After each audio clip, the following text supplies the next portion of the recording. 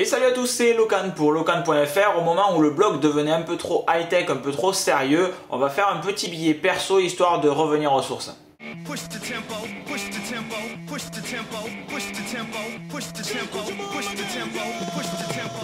Podcast tourné juste avant qu'il ne fasse trop noir, je tenais à lever mon chapeau à Gonzague qui dans son dernier billet un petit billet contre un gros chèque, c'est le titre, euh, descend un petit peu, du moins lève le voile sur certains billets sponsorisés de Corben et de Presse Citron. Je vous invite à aller lire donc le billet de Gonzague.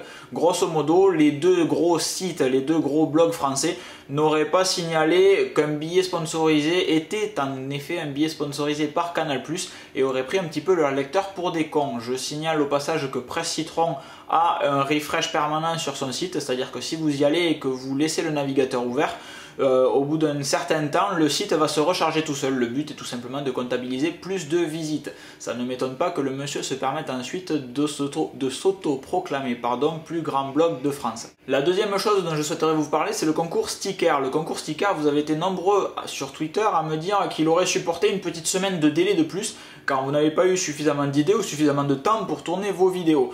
Euh, c'est donc chose autorisée puisque je n'ai reçu que très peu de vidéos et j'ai été quelque peu déçu justement du taux de participation compte tenu des cadeaux offerts et surtout du premier concours, premier vrai concours en partenariat de locan.fr.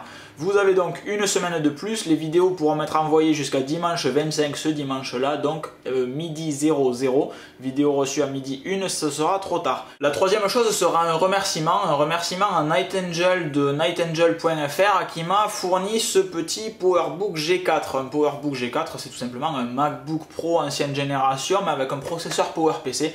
Donc certes, ce n'est pas très véloce, surtout celui-ci, surtout celui-ci, je ne couperai pas montage et je l'assume, surtout celui-ci qui ne démarre pas, donc j'ai essayé d'installer un petit Snow Leopard dessus, etc. Un petit Léopard dessus, ça n'a pas fonctionné, Snow Leo, je n'ai même pas essayé puisque c'est un processeur PowerPC. Donc si jamais je trouve un torrent d'un lien vers Tiger, il se pourrait qu'il reparte sous Tiger. Euh, ayant une erreur base system à chaque euh, tentative d'installation. Ça m'a fait surtout prendre conscience que les écrans mat étaient absolument somptueux et que mes yeux ne toléraient que ça. C'est donc dans cette optique que je vais vendre mon MacBook Pro et sûrement racheter un MacBook Pro ancienne génération comme celui-ci, donc les gros euh, que la plupart des gens qualifient de moches. Mon MacBook Pro devrait donc être vendable aux alentours des 1600 euros, allez 1500 s'il faut vraiment descendre. Euh, j'ai vu quelques petits MacBook Pro à 1100, 1200 et c'est des très bons modèles. Il se pourrait donc que Locan repasse sur un petit MacBook tout simple comme celui-ci avec des bords fins puisque c'est ce que j'ai constaté, c'est que sur les anciennes générations les bords étaient fins, sur les nouveaux les bords des écrans sont larges comme sur les MacBook d'entrée de gamme tout moche en plastique.